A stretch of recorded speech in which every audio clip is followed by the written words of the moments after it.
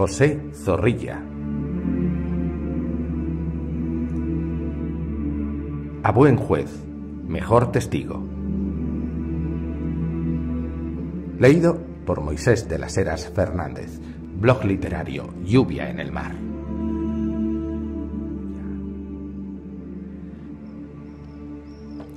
El monótono murmullo sonar perdido se escucha, cual si por las hondas calles hirviera del mar la espuma. Qué dulce es dormir en calma cuando a lo lejos susurran los álamos que se mecen, las aguas que se derrumban. Se sueñan bellos fantasmas que el sueño del triste endulzan, y en tanto que sueña el triste, no le aqueja su amargura. Tan en calma y tan sombría como la noche que enluta la esquina en que desemboca una callejuela oculta, se ve de un hombre que aguarda la vigilante figura, y tan a la sombra vela, que entre la sombra se ofusca. Frente por frente a sus ojos, un balcón de poca altura deja escapar por los vidrios la luz que dentro le alumbra. El igual compás se escucha de un caballo que sacude las sonoras herraduras. ¿Quién va? Repite y cercana, otra voz menos robusta responde, Un hidalgo, calle. y el paso el bruto apresura. Téngase el hidalgo.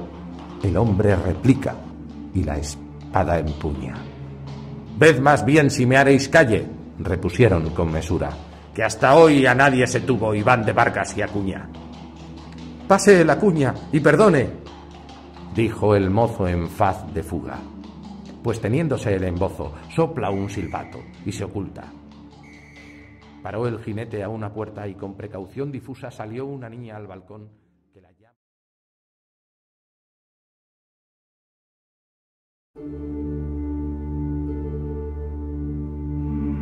José Zorrilla. A buen juez, mejor testigo. Leído por Moisés de las Heras Fernández, blog literario Lluvia en el Mar. 1.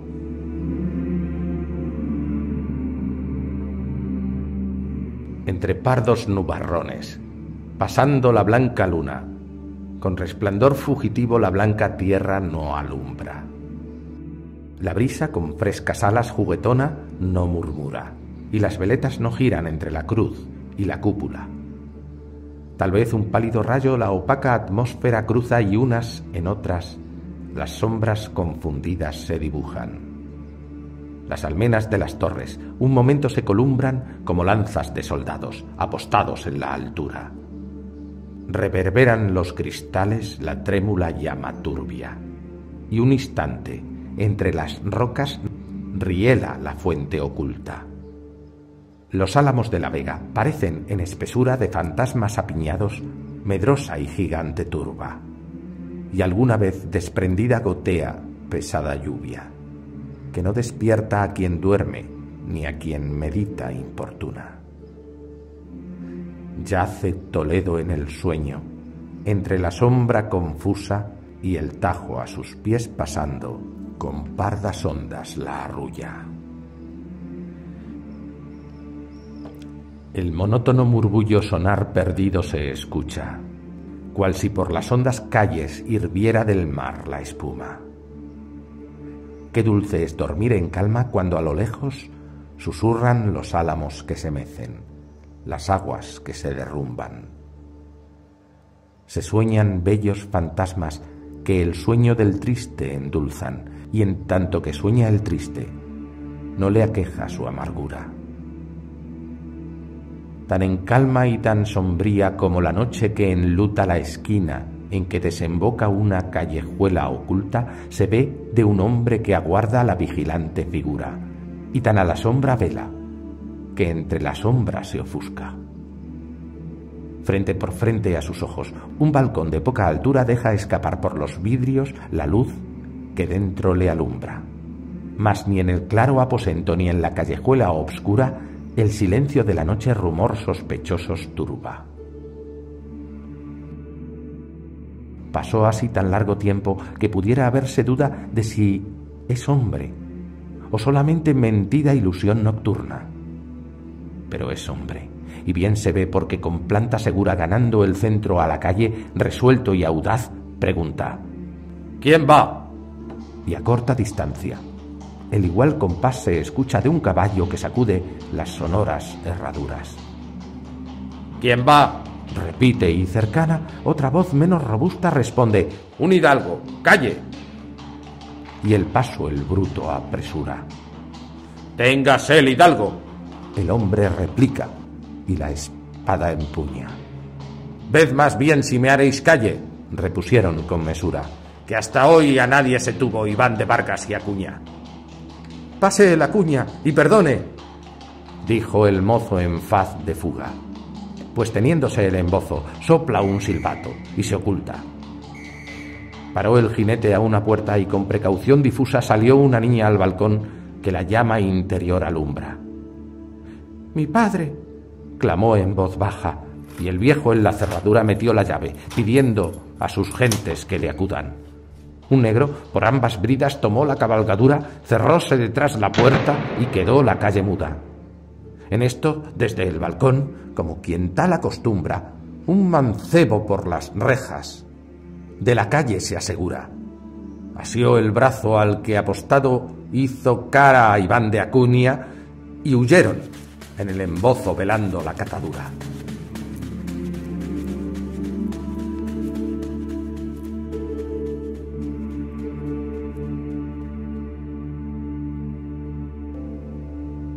Dos.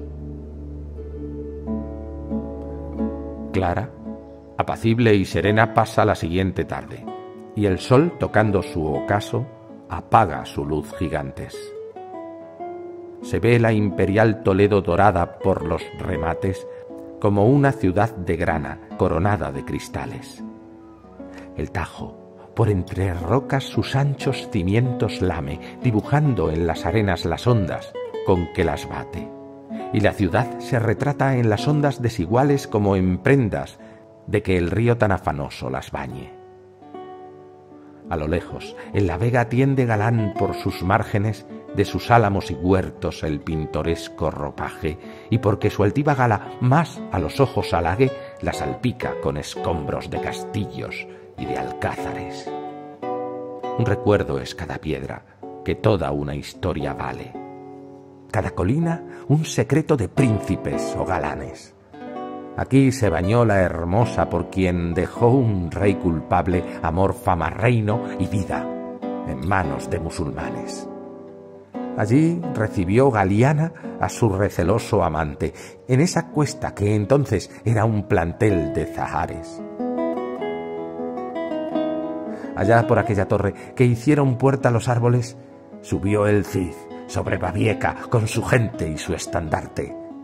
Más lejos se ve al castillo de San Servando o Cervantes, donde nada se hizo nunca y nada al presente se hace. A este lado está la almena por do sacó vigilante el conde don Peranzules al rey que supo una tarde fingir tan tenaz modorra que político y constante tuvo siempre el brazo quedo las palmas al hora darle. Allí está el circo romano, gran cifra, de un pueblo grande, y aquí la antigua basílica, de bizantinos pilares, que oyó en el primer concilio las palabras de los padres que velaron por la iglesia perseguida o vacilante.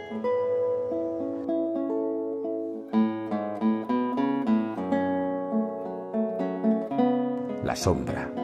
En este momento tiende sus turbios cendales por todas esas memorias de las pasadas edades y del Cambrón a bisagra, los caminos desiguales, camino a los toledanos hacia las murallas abren.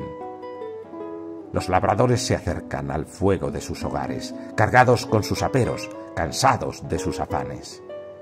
Los ricos y sedentarios se tornan, con paso grave, calado el ancho sombrero, abrochados los gabanes, y los clérigos y monjes y los prelados y abades sacudiendo el leve polvo de capelos y sayales.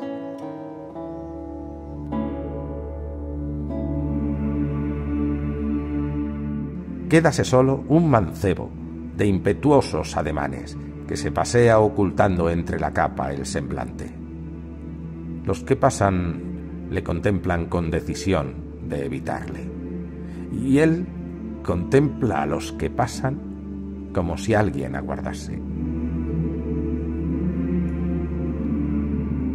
Los tímidos aceleran los pasos al divisarle, cual temiendo de seguro que les proponga un combate, y los valientes le miran cual si sintieran dejarle sin que, libres sus estoques, de riña sonora dancen.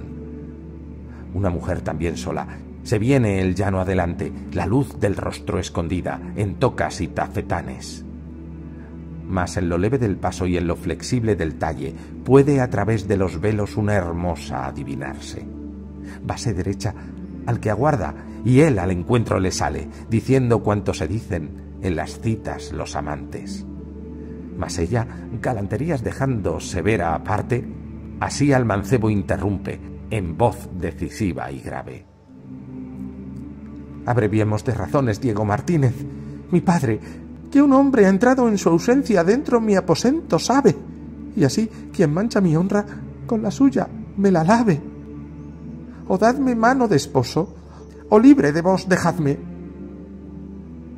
Miróla Diego Martínez atentamente un instante y echando a un lado el embozo repuso palabras tales.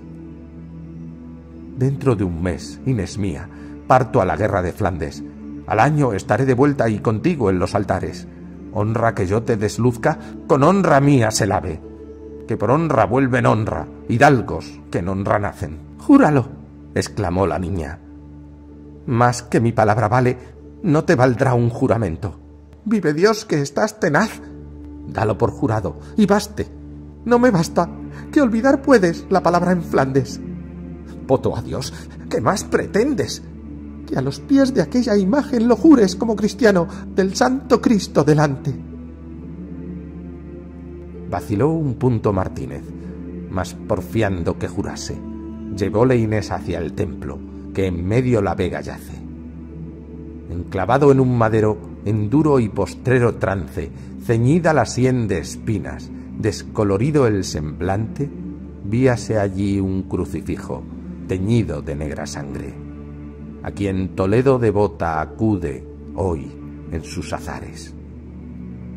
Ante sus plantas divinas llegaron ambos amantes, y haciendo Inés que Martínez los sagrados pies tocase, preguntóle Diego, Diego, ¿juras a tu vuelta desposarme?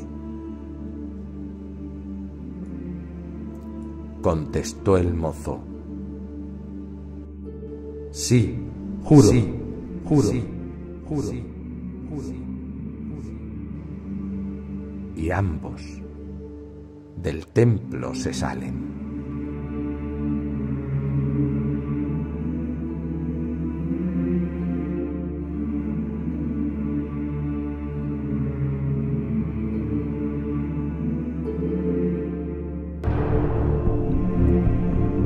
Tercera parte.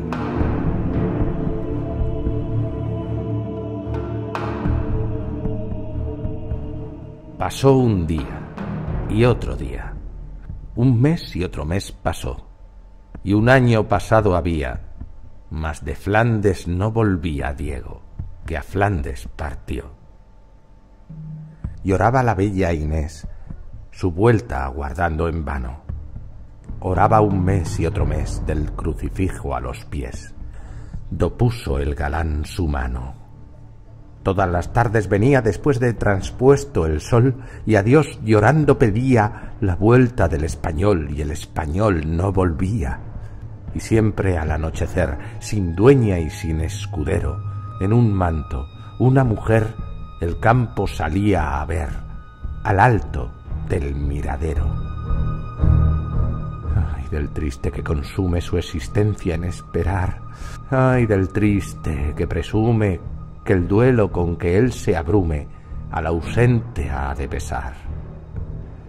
La esperanza es de los cielos precioso y funesto don, pues los amantes desvelos cambian la esperanza en celos que abrasan el corazón. Si es cierto lo que se espera, es un consuelo en verdad, pero siendo una quimera, en tan frágil realidad quien espera, desespera. Así Inés desesperaba sin acabar de esperar, y su tez se marchitaba y su llanto se secaba para volver a brotar. En vano a su confesor pidió remedio o consejo para aliviar su dolor. Que mal se cura el amor con las palabras de un viejo. En vano a Iván acudía llorosa y desconsolada.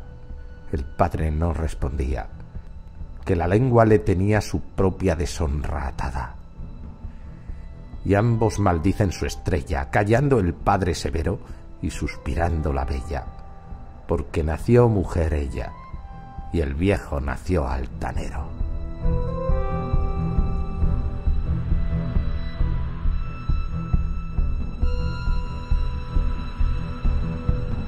Dos años al fin pasaron, en esperar y gemir, y las guerras acabaron, y los de Flandes tornaron a sus tierras a vivir. Pasó un día, y otro día, un mes y otro mes pasó, y el tercer año corría. Diego a Flandes se partió, mas de Flandes no volvía.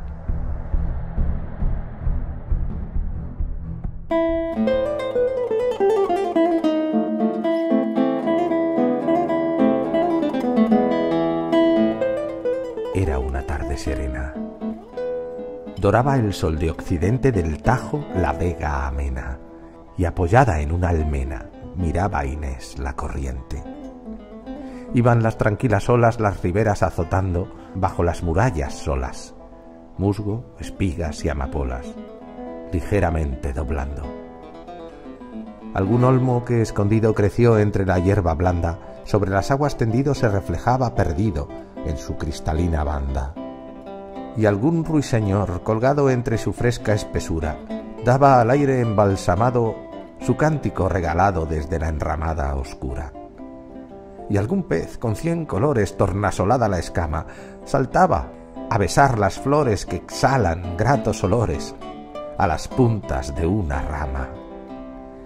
Y allá en el trémulo fondo el torreón se dibuja como el contorno redondo del hueco sonrío y hondo, que habita nocturna bruja. Así la niña lloraba el rigor de su fortuna, y así la tarde pasaba y al horizonte trepaba la consoladora luna.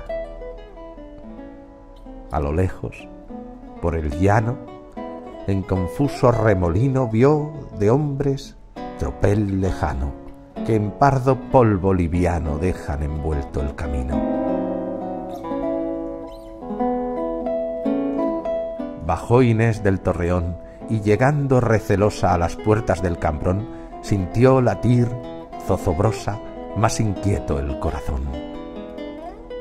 Tan galán como altanero dejó ver la escasa luz, por bajo el arco primero, un hidalgo caballero en un caballo andaluz.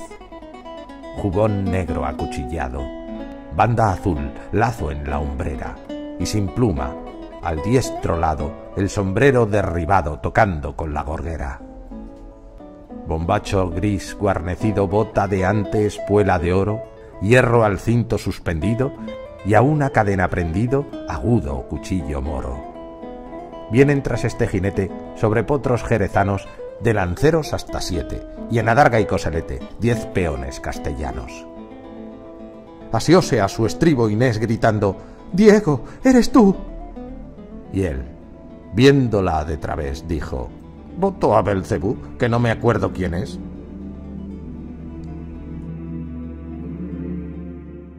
Dio la triste un alarido, tal respuesta al escuchar, y a poco perdió el sentido, sin que más voz ni gemido volviera en tierra a exhalar.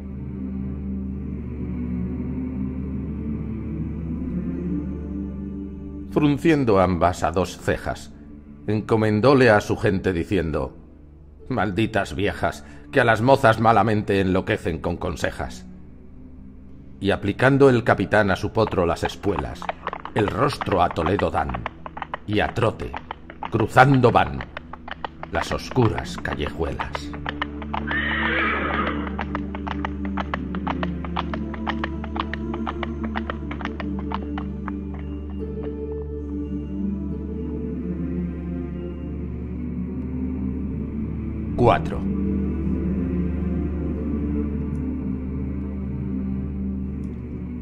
Así por sus altos fines dispone y permite el cielo que puedan mudar al hombre fortuna, poder y tiempo. A Flandes partió Martínez de soldado aventurero, y por su suerte y hazañas allí capitán le hicieron. Según alzaba en honores, alzábase en pensamientos, y tanto ayudó en la guerra con su valor y altos hechos que el mismo rey, a su vuelta, le armó en Madrid caballero tomándole a su servicio por capitán de lanceros. Y otro no fue que Martínez, quien a poco entró en Toledo tan orgulloso y ufano, cual salió humilde y pequeño. Ni es otro a quien se dirige cobrado el conocimiento la amorosa Inés de Vargas, que vive por él muriendo. Mas él, que olvidando todo olvidó su nombre mismo, puesto que Diego Martínez es el capitán don Diego, ni se ablanda a sus caricias, ni cura de sus lamentos, diciendo que son locuras de gente de poco seso. Que ni él prometió casarse, ni pensó jamás en ello. Tanto mudan a los hombres, fortuna, poder y tiempo. En vano porfiaba Inés con amenazas y ruegos. Cuanto más ella importuna, está Martínez severo Abrazada a sus rodillas, enmarañado el cabello, la hermosa niña lloraba posternada por el suelo. Mas todo empeño es inútil, porque el capitán don Diego no ha de ser Diego Martínez, como lo era en otro tiempo. Y así, llamando a su gente, de amor y piedad ajeno, mandóles que a Inés llevaran de grado o de valimiento.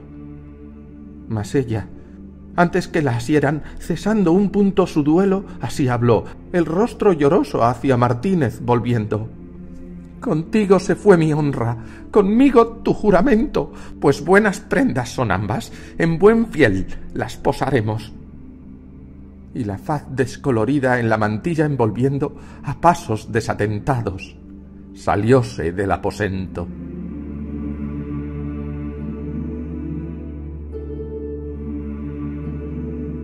5.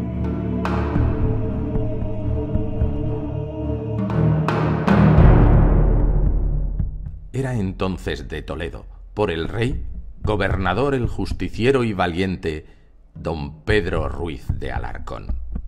Muchos años por su patria el buen viejo peleó. Cercenado tiene un brazo, más entero el corazón. La mesa tiene delante, los jueces en derredor los corchetes a la puerta y en la derecha el bastón. Está como presidente del Tribunal Superior, entre un dosel y una alfombra, reclinado en el sillón, escuchando con paciencia la casi asmática voz con que un tétrico escribano solfea una apelación. Los asistentes bostezan al murmullo arrullador. Los jueces medio dormidos hacen pliegues al ropón. Los escribanos repasan sus pergaminos al sol. Los corchetes a una moza guiñan en un corredor y abajo, en Zocodover, gritan en discorde son los que en el mercado venden lo vendido y el valor. Una mujer en tal punto en faz de grande aflicción, rojos de llorar los ojos, ronca de gemir la voz, suelto el cabello y el manto, tomó plaza en el salón, diciendo a gritos Justicia, jueces, justicia, señor. Y a los pies se arroja humilde de don Pedro de Alarcón, en tanto que los curiosos se agitan alrededor. Alzóle cortés don Pedro, calmando la confusión, y el tumultuoso murmullo que esta escena ocasionó, diciendo Mujer, ¿qué quieres? Quiero justicia, señor. ¿De qué? De una prenda hurtada. ¿Qué prenda? Mi corazón. ¿Tú le diste? Le presté. ¿Y no te la han devuelto? No. ¿Tienes testigos? Ninguno. ¿Y promesa? Sí, por Dios. que al partirse de Toledo un juramento empeñó. ¿Quién es él? Diego Martínez. ¿Noble? Y, capitán, señor. Presentadme al capitán, que cumplirá si juró. Quedó en silencio la sala y a poco en el corredor se oyó de botas y espuelas el acompasado son. Un portero, levantando el tapiz en alta voz, dijo El capitán don Diego. Y entró luego en el salón Diego Martínez, los ojos llenos de orgullo y furor. ¿Sois el capitán don Diego? díjolo don Pedro. ¿Vos? contestó altivo y sereno Diego Martínez. Yo soy. ¿Conocéis a esta muchacha? A tres años, salvo error. ¿Hicístela juramento de ser su marido? No. ¿Juráis no haberlo jurado? Sí, juro. Pues id con Dios. Miente, clamó Inés llorando de despecho y de rubor. Mujer, piensa lo que dices. Digo que miente. Juró. ¿Tienes testigos? Ninguno. Capitán, idos con Dios, y dispensad que acusado dudara de vuestro honor. Tornó Martínez la espalda con brusca satisfacción, e Inés, que le vio partirse, resuelta y firme, gritó Llamadle. Tengo un testigo. Llamadle otra vez, señor. Volvió el capitán don Diego, sentóse Ruiz de Alarcón, la multitud aquietóse y la de Vargas siguió. Tengo un testigo a quien nunca faltó verdad ni razón. ¿Quién? Un hombre que de lejos nuestras palabras oyó, mirándonos desde arriba. ¿Estaba en algún balcón? No, que estaba en un suplicio donde ha tiempo que expiró. Luego es muerto. No, que vive. Estáis loca. Vive Dios. ¿Quién fue? El Cristo de la Vega, a cuya faz perjuró. Pusiéronse en pie los jueces al nombre del Redentor, escuchando con asombro tan excelsa apelación. Reinó un profundo silencio de sorpresa y de pavor, y Diego bajó los ojos de vergüenza y confusión. Un instante con los jueces don Pedro en secreto habló y levantóse diciendo con respetuosa voz La ley es ley para todos. Tu testigo es el mejor. Mas para tales testigos no hay más tribunal que Dios. Haremos lo que sepamos. Escribano, al caer el sol, al Cristo que está en la vega, tomaréis declaración.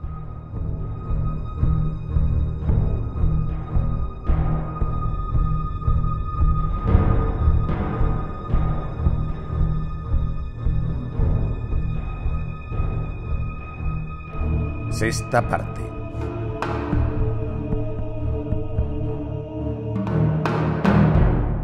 Es una tarde serena, cuya luz tornasolada del purpurino horizonte blandamente se derrama. Plácido aroma las flores, sus hojas plegando, exhalan, y el céfiro entre perfumes mece las trémulas alas brillan abajo en el valle, con suave rumor las aguas, y las aves de la orilla despidiendo al día cantan. Allá por el miradero, por el cambrón y bisagra, confuso tropel de gente del Tajo a la Vega Baja. Vienen delante don Pedro de Alarcón, Iván de Vargas, su hija Inés, los escribanos, los corchetes y los guardias y detrás monjes, hidalgos, mozas, chicos y canalla. Otra turba de curiosos en la vega les aguarda, cada cual comentando el caso, según le cuadra. Entre ellos está Martínez en apostura bizarra, calzadas espuelas de oro, balona de encaje blanca, bigote a la borgoñesa, melena desmelenada, el sombrero guarnecido con cuatro lazos de plata, un pie delante del otro y el puño en el de la espada.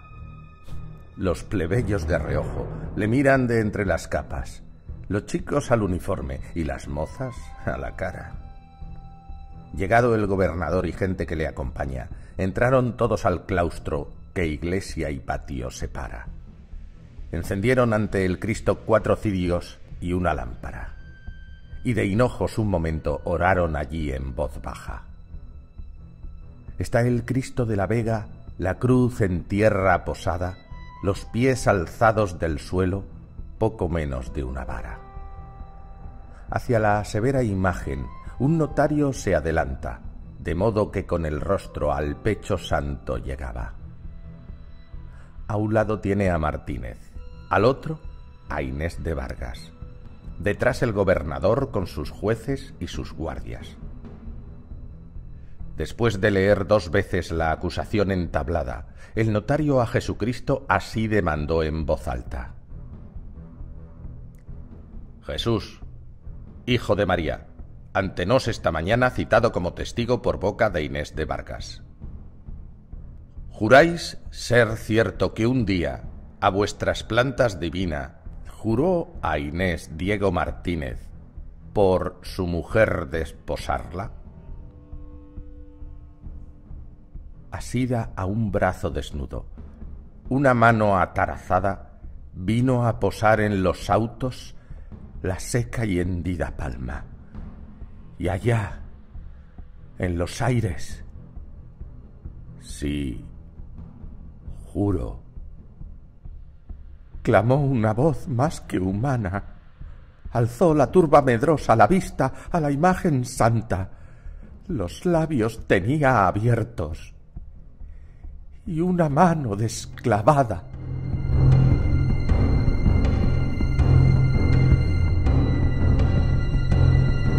Conclusión.